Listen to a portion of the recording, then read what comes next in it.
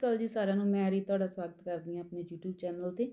ਸੋ ਅੱਜ ਸਟਾਰਟ ਕਰਨਾ ਜਾ ਰਹੇ ਹਾਂ ਜੀ, ਜ- ਜਿਹੜਾ ਸਾਡਾ ਪੰਜਾਬੀ ਦਾ ਕੁਆਲੀਫਾਈਂਗ ਨੇਚਰ ਦਾ ਪੇਪਰ ਹੈ, ਉਹਦਾ ਸਿਲੇਬਸ ਸਟਾਰਟ ਕਰਨ ਲੱਗਿਆ ਇਹ ਸਾਰੇ ਵਨ ਲਾਈਨਰ ਕੁਐਸਚਨ ਹੀ ਹੋਣਗੇ, ਜੋ ਜੋ ਕਿ ਤੁਹਾਨੂੰ ਬਹੁਤ ਹੈਲਪਫੁਲ ਹੋਣਗੇ ਤੁਹਾਡੇ ਪੇਪਰ ਦੇ ਵਿੱਚ। ਸੋ ਸਟਾਰਟ ਕਰਦੇ ਹਾਂ ਜੀ। ਲੋਕਧਾਰਾ ਕਿਹੜੇ ਦੋ ਸ਼ਬਦਾਂ ਦੇ ਸਮੇਲ ਤੋਂ ਬਣਿਆ ਹੈ? ਹਾਂਜੀ, ਇਹ ਬਣਿਆ ਹੈ ਜੀ ਲੋਕ ਪਲੱਸ ਧਾਰਾ। ਦੋ ਸ਼ਬਦਾਂ ਦੇ ਸਮੇਲ ਤੋਂ ਬਣਿਆ ਹੈ, ਲੋਕਧਾਰਾ, ਲੋਕ ਪਲੱਸ ਧਾਰਾ। ਲੋਕਧਾਰਾ ਧ- ਧਾਰਾ ਦੇ ਸਮਾਨਾਰਥ ਹੋਰ ਕਿਸ ਸ਼ਬਦ ਦੀ ਵਰਤੋਂ ਕੀਤੀ ਜਾਂਦੀ ਹੈ? ਲੋਕ ਯਾਨ।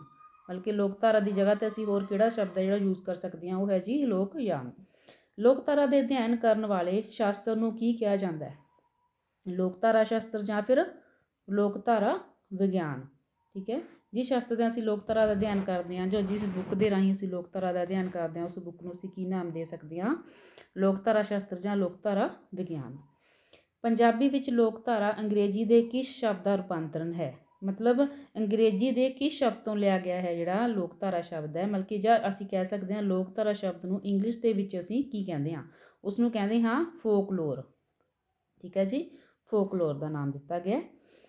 ਹਾਂਜੀ ਫਿਫਥ ਹੈ ਕਿਸ ਵਿਦਵਾਨ ਨੇ ਅੰਗਰੇਜ਼ੀ ਭਾਸ਼ਾ ਵਿੱਚ ਪਹਿਲੀ ਵਾਰ ਫੋਕਲੋਰ ਸ਼ਬਦ ਦਾ ਇਸਤੇਮਾਲ ਕੀਤਾ ਸੀ। ਜਾਂ ਅਸੀਂ ਕਹਿ ਸਕਦੇ ਹਾਂ ਕਿ ਜਿਹੜਾ ਫੋਕਲੋਰ ਸ਼ਬਦ ਹੈ, ਉਹ ਸਭ ਤੋਂ ਪਹਿਲਾਂ ਕਿਸ ਨੇ ਯੂਜ਼ ਕੀਤਾ ਸੀ ਇੰਗਲਿਸ਼ ਦੇ ਵਿੱਚ? ਇਹ ਕੀਤਾ ਸੀ ਜੀ ਵਿਲੀਅਮ ਜੌਨ ਥਾਮਸ ਨੇ, ਠੀਕ ਹੈ? ਨੈਕਸਟ ਹੈ, ਲੋਕਧਾਰਾ ਤੋਂ ਕੀ ਭਾਵ ਹੈ? ਮੀਨਸ ਵਟ ਲੋਕਧਾਰਾ ਦਾ ਮਤਲਬ ਕੀ ਹੈ? ਮੀਨਿੰਗ ਕੀ ਹੈ ਇਸ ਦਾ ਕਿਸੇ ਸਮਾਜ ਦੀ ਲੋਕ ਮਾਨਸ ਨਾਲ ਸੰਬੰਧਿਤ, ਲੋਕ ਪ੍ਰਵਾਨਿਤ, ਉਹ ਸਾਰੀ ਮੌਖਿਕ ਜਾਂ ਵਸਤੂਪੂਰਵਕ ਸਮੱਗਰੀ ਜੋ ਪੀੜ੍ਹੀ ਦਰ ਪੀੜ੍ਹੀ ਪ੍ਰਭਾਵਿਤ ਹੁੰਦੀ ਹੈ, ਲੋਕਧਾਰਾ ਹੈ।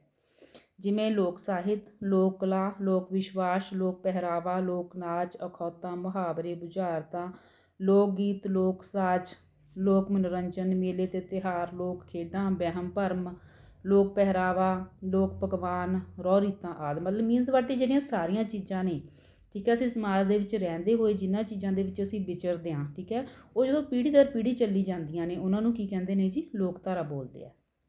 ਠੀਕ ਹੈ ਜੀ। ਪੰਜਾਬੀ ਵਿੱਚ ਲੋਕਧਾਰਾ ਸ਼ਬਦ ਨੂੰ ਪਹਿਲੀ ਵਾਰ ਕਿਸਨੇ ਵਰਤਿਆ?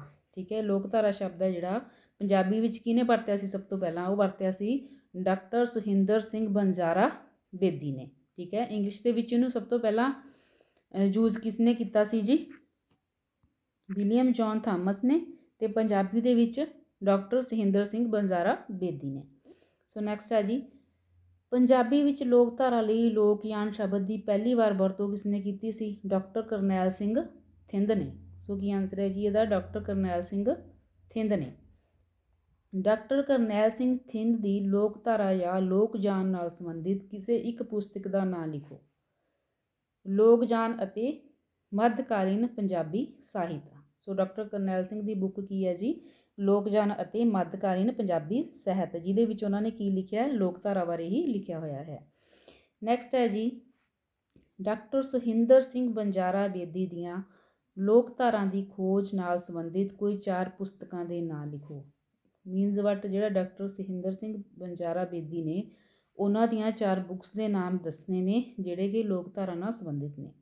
ਲੋਕ ਆਖਦੇ ਹਨ, ਲੋਕਧਾਰਾ ਅਤੇ ਸਾਹਿਤ ਪੰਜਾਬ ਦੀ ਲੋਕਧਾਰਾ, ਪੰਜਾਬ ਦਾ ਲੋਕ ਸਾਹਿਤ ਇਹ ਕੀ ਨੇ ਜੀ? ਉਹਨਾਂ ਦੀਆਂ ਚਾਰ ਬੁੱਕਸ ਨੇ। ਨੈਕਸਟ ਹੈ, ਡਾਕਟਰ ਸੁਹਿੰਦਰ ਸਿੰਘ ਬੰਜ਼ਾਰਾ ਬੇਦੀ ਨੇ ਕਿਸ ਕੋਸ਼ ਦੀ ਰਚਨਾ ਕੀਤੀ? ਲੋਕਧਾਰਾ ਵਿਸ਼ਵ ਕੋਸ਼।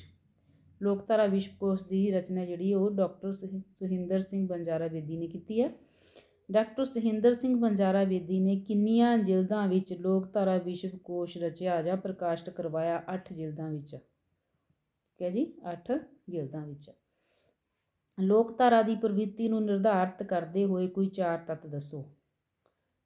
ਪਰੰਪਰਾ, ਲੋਕ, ਲੋਕਮਨ, ਲੋਕ ਸੱਭਿਆਚਾਰ, ਲੋਕ ਪ੍ਰਵਿਰਤੀ, ਮੌਖਿਕਤਾ। ਸੋ ਇਹ ਚਾਰ ਤੱਤ ਨੇ ਜੀ ਜੋ ਲੋਕਧਾਰਾ ਦੀ ਪ੍ਰਕਿਰਤੀ ਨੂੰ ਨਿਰਧਾਰਤ ਕਰਦੇ ਨੇ। ਦੁਬਾਰਾ ਫਿਰ ਦੇਖ ਲਓ।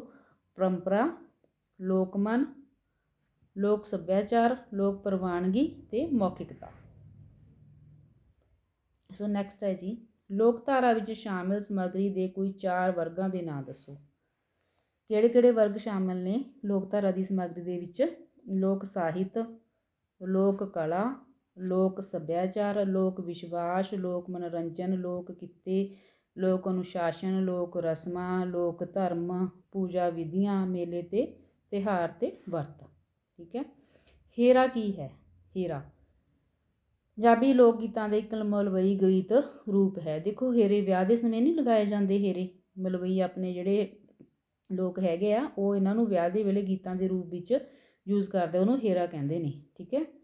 ਪੰਜਾਬੀ ਸੱਭਿਆਚਾਰ ਵਿੱਚ ਸਾਲ ਦੇ ਕਿਹੜੇ ਦੇਸੀ ਮਹੀਨੇ ਦਾ, ਪੰਜਾਬੀ ਸੱਭਿਆਚਾਰ ਵਿੱਚ ਸਾਲ ਦੇ ਪਹਿਲੇ ਦੇਸੀ ਮਹੀਨੇ ਦਾ ਕੀ ਨਾਂ ਹੈ? ਚੇਤ।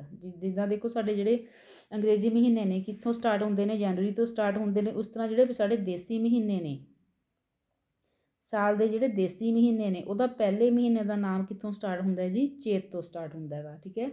ਪੰਜਾਬੀ ਸੱਭਿਆਚਾਰ ਵਿੱਚ ਕਿਹੜੇ ਦੇਸੀ ਮਹੀਨੇ ਵਧੇਰੇ ਸਰਦੀ ਵਾਲੇ ਮਹੀਨੇ ਹੁੰਦੇ ਹਨ? ਮਤਲਬ ਸਭ ਤੋਂ ਜ਼ਿਆਦਾ ਠੰਡ ਦੇਸੀ ਮਹੀਨਿਆਂ 'ਚ ਕਦੋਂ ਪੈਂਦੀ ਹੈ? ਪੋਹ ਤੇ ਮਾਘ।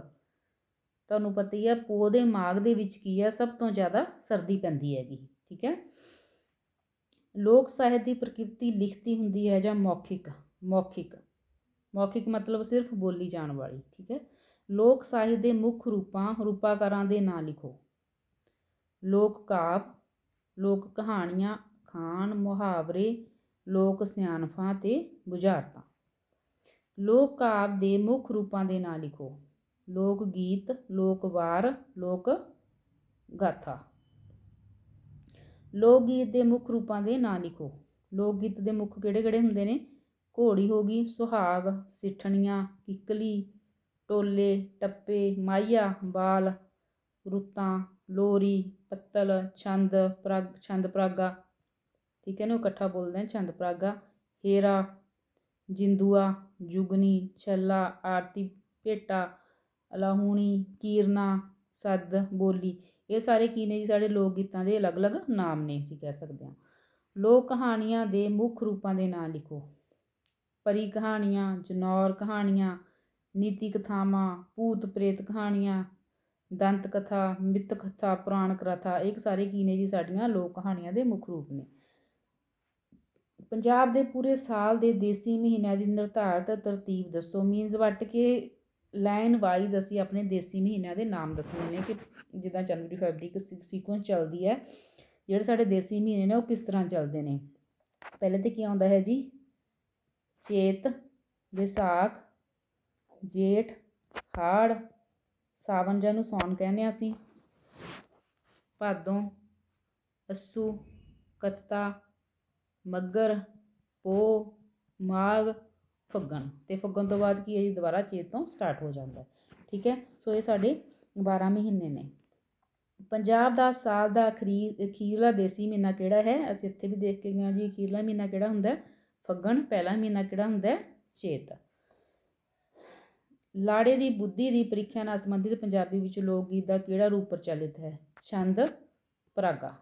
ਠੀਕ ਹੈ? ਛੰਦ ਸੁਣਾਏ ਜਾਂਦੇ ਨੇ, ਲਾੜੇ ਨੂੰ ਲਾੜੇ ਤੋਂ ਸੁਣੇ ਜਾਂਦੇ ਨੇ ਸੌਰੀ ਠੀਕ ਹੈ? ਉਹਦੀ ਬੁੱਧੀ ਨੂੰ ਪਰਖਿਆ ਜਾਂਦਾ ਹੈ।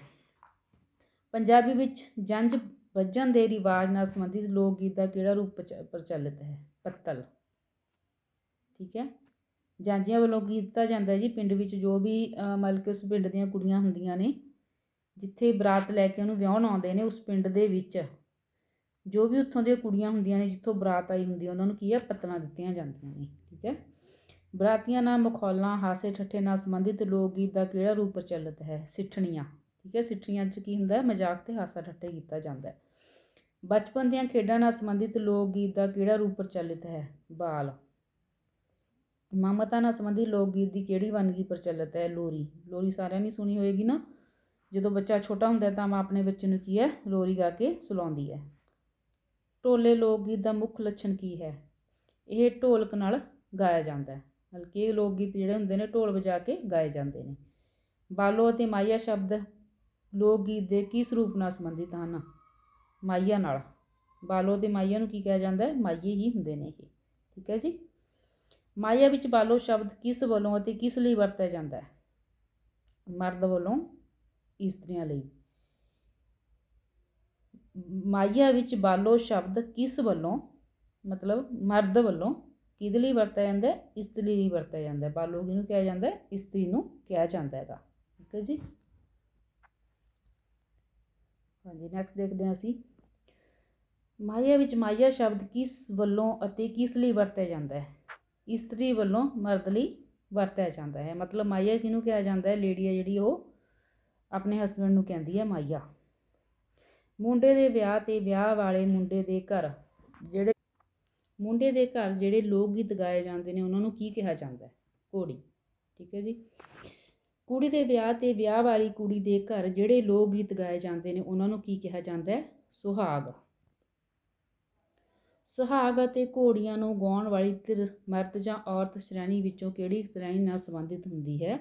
ਔਰਤ ਸ਼੍ਰੇਣੀ, ਮਤਲਬ ਕਿ ਸੁਹਾਗ ਅਤੇ ਘੋੜੀਆਂ ਵਾਲੀ ਧਿਰ, ਮਰਦ ਜਾਂ ਔਰਤ ਸ਼੍ਰੇਣੀ ਵੱਲੋਂ ਕਿਹੜੀ ਸ਼੍ਰੇਣੀ ਨਾਲ ਸੰਬੰਧਿਤ ਹੁੰਦੀ ਹੈ? ਔਰਤ ਸ਼੍ਰੇਣੀ ਨਾਲ। ਮਤਲਬ ਇਹਨੂੰ ਔਰਤਾਂ ਗਾਉਂਦੀਆਂ ਨੇ। ਇਹ ਨਹੀਂ ਹੈਗਾ ਕਿ ਮਰਦ ਗਾਉਂਦੇ ਨੇ, ਇਹਨੂੰ ਔਰਤਾਂ ਗਾਉਂਦੀਆਂ ਨੇ। ਨਿੱਕੀਆਂ ਬਾਲੜੀਆਂ ਲਈ ਲੋਕ ਗੀਤ ਦਾ ਕਿਹੜਾ ਰੂਪ ਪ੍ਰਚਲਿਤ ਹੈ? ਕਿੱਕਲੀ। ਜਿਹਨਾਂ ਛੋਟੀਆਂ ਕੁੜੀਆਂ ਨੇ ਉਹ ਕੀ ਕਰਦੀਆਂ ਨੇ? ਕਿੱਕਲੀ ਪਾਉਂਦੀਆਂ ਨੇ। ਮੌਤ ਉਪਰੰਤ ਪ੍ਰਾਣੀ ਲਈ ਸਿਫਤ ਵਿਛੋੜੇ ਦੇ ਗਮ, ਹਾਕਾਂ ਮਾਰਨ, ਪੁਕਾਰਨ ਆਦਿ ਨਾਲ ਸੰਬੰਧੀ ਲੋਕ ਗੀਤ ਦੇ ਕਿਹੜੇ ਰੂਪਾਕਾਰ ਪੰਜਾਬੀ ਸੱਭਿਆਚਾਰ ਵਿੱਚ ਪ੍ਰਚਲਿਤ ਹਨ? ਅਲਾ ਹੂਣੀ ਕੀਰਨਾ ਸੱਦ। ਠੀਕ ਹੈ? ਇਹ ਤਿੰਨੋਂ ਕੀ ਹੈ? ਮੌਤ ਨਾਲ ਸੰਬੰਧਿਤ ਨੇ। ਈਸ਼ਵਰ ਦੀ ਆਰਾਧਨਾ ਨਾਲ ਸੰਬੰਧਿਤ ਲੋਕ ਗੀਤ ਦੇ ਕਿਸੇ ਇੱਕ ਰੂਪ ਦਾ ਨਾਮ ਲਿਖੋ, ਆਰਤੀ। ਠੀਕ ਹੈ? ਜਿਹਦਾ ਪੂਜਾ ਕੀਤੀ ਜਾਂਦੀ ਹੈ, ਆਰਤੀ ਕੀਤੀ ਜਾਂਦੀ ਹੈ।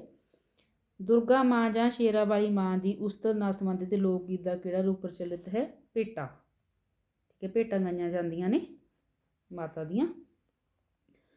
ਜੁੱਤ ਜਾਂ ਲੜਾਈ ਨਾਲ ਸੰਬੰਧਿਤ ਲੋਕ ਕਾਵ ਨੂੰ ਕੀ ਕਿਹਾ ਜਾਂਦਾ ਹੈ? ਲੋਕ ਵਾਰ। ਦੇਖੋ ਵਾਰ ਦਾ ਮਤਲਬ ਕੀ ਹੁੰਦਾ ਹੈ? ਇੰਗਲਿਸ਼ 'ਚ ਵੀ ਵਾਰ ਦਾ ਮਤਲਬ ਕੀ ਹੁੰਦਾ ਯੁੱਧ ਨੂੰ ਕੀ ਕਿਹਾ ਜਾਂਦਾ ਲੋਕ ਵਾਰ। ਪਰੀ ਕਹਾਣੀਆਂ ਦੇ ਮੁੱਖ ਪਾਤਰ ਕਿਹੜੇ-ਕਿਹੜੇ ਹੁੰਦੇ ਹਨ? ਪਰੀ, ਅਪਸ਼ਰਾ, ਦੇਵ, ਜਿੰਨ, ਅਮਾਨਵੀ ਅਮਾਨਵੀ ਪਾਤਰ। ਠੀਕ ਹੈ? ਜਨੌਰ ਕਹਾਣੀਆਂ ਦੇ ਮੁੱਖ ਪਾਤਰ ਕਿਹੜੇ-ਕਿਹੜੇ ਹੁੰਦੇ ਨੇ? ਪਸ਼ੂ ਤੇ ਪੰਛੀ। ਦੇਖੋ ਪਸ਼ੂ ਪੰਛੀ ਨੂੰ ਜਨੌਰ ਕਹਿ ਦਿੰਦੇ ਨੇ ਪਸ਼ੂ ਪੰਛੀ ਹੁੰਦੇ ਨੇ।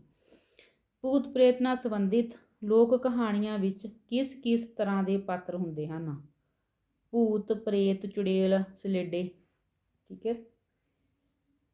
ਨੀਤੀ ਕਥਾਵਾਂ ਨੂੰ ਅੰਗਰੇਜ਼ੀ ਵਿੱਚ ਕੀ ਕਿਹਾ ਜਾਂਦਾ ਹੈ? ਫੇਬਲ। ਫੇਬਲ ਬੋਲਿਆ ਜਾਂਦਾ ਹੈ, ਠੀਕ ਹੈ। ਫੇਬਲ ਕੀ ਹੁੰਦੀ ਹੈ? ਇੱਕ ਸਟੋਰੀ ਉਹ ਹੁੰਦੀ ਹੈਗੀ। ਇੰਗਲਿਸ਼ ਦੇ ਵਿੱਚ ਕਿਹਾ ਜਾਂਦਾ ਹੈ, ਜਿਹੜੇ ਸਟੋਰੀ ਹੁੰਦੀ ਹੈ ਉਹਨਾਂ ਨੂੰ ਫੇਬਲ ਕਿਹਾ ਜਾਂਦਾ ਹੈ। ਨੀਤੀ ਕਥਾਵਾਂ ਦਾ ਮੁੱਖ ਵਿਸ਼ਾ ਕੀ ਹੁੰਦਾ ਹੈ? ਨੈਤਿਕਤਾ, ਚੰਗੇ ਜੀਵਨ ਦੀ ਸਿੱਖਿਆ। ਉਹਦੇ ਵਿੱਚ ਕੀ ਹੈ? ਸਟੋਰੀ ਦੇ ਥਰੂ ਕੀ ਕੀਤਾ ਹੁੰਦਾ? ਕੁਝ ਇਨਫੋਰਮੇਸ਼ਨ ਦਿੱਤੀ ਹੁੰਦੀ ਹੈ ਜੀਵਨ ਦੇ ਬਾਰੇ। ਦੰਤ ਕਥਾ ਲਈ ਅੰਗਰੇਜ਼ੀ ਵਿੱਚ ਕਿਹੜਾ ਸ਼ਬਦ ਪ੍ਰਚਲਿਤ ਹੈ? ਲੀਜੈਂਡ। ਲੀਜੈਂਡ ਓਕੇ ਦੰਤ ਕਥਾ ਲਈ ਕੀ ਹੈ? ਲੀਜੈਂਡ ਯੂਜ਼ ਕੀਤਾ ਜਾਂਦਾ ਇੰਗਲਿਸ਼ ਦੇ ਵਿੱਚ। ਦੰਤ ਕਥਾ ਦੀ ਮੁੱਖ ਵਿਸ਼ੇਸ਼ਤਾ ਕੀ ਹੈ?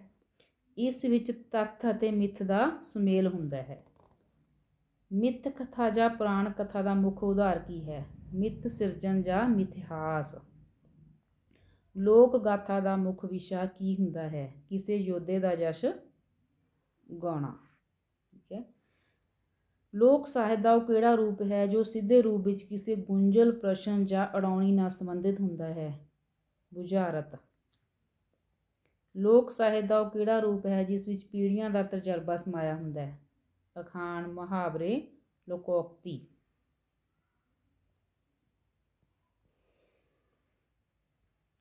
ਲੋਕ ਸਾਹਿਤ ਦਾ ਉਹ ਕਿਹੜਾ ਰੂਪ ਹੈ ਜੋ ਸਿਆਣੇਪਨ, ਸਿਹਤ ਨਾਲ ਸੰਬੰਧਿਤ ਹੈ? ਲੋਕ ਸਿਆਣਪਾਂ ਸੋ ਅੱਜ ਅਸੀਂ ਇੱਥੇ ਤੱਕ ਹੀ ਕਰਾਂਗੇ ਜੀ? ਕੱਲ ਨੂੰ ਅਸੀਂ ਕਰਾਂਗੇ ਮੇਲੇ ਤੇ ਤਿਉਹਾਰ। ਅਗਰ ਤੁਹਾਨੂੰ ਕਲਾਸ ਪਸੰਦ ਆਉਂਦੀ ਹੈ ਤਾਂ ਇਹਨੂੰ ਲਾਈਕ ਤੇ ਸ਼ੇਅਰ ਜ਼ਰੂਰ ਕਰਿਓ। ਅਗਰ ਤੁਹਾਡਾ ਸਪੋਰਟ ਹੋਏਗਾ ਤਾਂ ਅੱਗੇ ਆਪਾਂ ਕੰਟੀਨਿਊ ਕਰਾਂਗੇ। ਆਪਣੇ ਕੁਆਲੀਫਾਈਂਗ ਨੇਚਰ ਦਾ ਜਿਹੜਾ ਪੇਪਰ ਉਹਦੀ ਪੂਰੀ ਤਿਆਰੀ ਇਸ ਤਰ੍ਹਾਂ YouTube ਤੇ ਹੀ ਫ੍ਰੀ ਆਫ ਕਾਸਟ ਕਰਾਂਗੇ। ਤੁਸੀਂ ਆਪਣੇ ਨੋਟਸ ਬਣਾ ਸਕਦੇ ਹੋ ਵੀਡੀਓ ਨੂੰ ਪਾਜ਼ ਕਰਕੇ। ਸੋ ਅਗਰ ਵੀਡੀਓ ਪਸੰਦ ਆਏ ਤਾਂ ਸ਼ੇਅਰ ਜ਼ਰੂਰ ਕਰਨਾ ਜੀ। ਕੱਲ ਨੂੰ ਆਪਾਂ ਕੰਟੀਨਿਊ ਕਰਾਂਗੇ। So thank you so much